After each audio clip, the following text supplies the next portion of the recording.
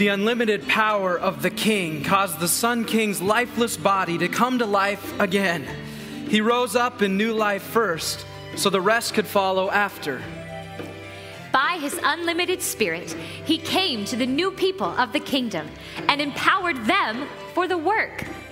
Each one was filled with a baptism of fire and power to be witnesses of the kingdom, lights who could overthrow the darkness.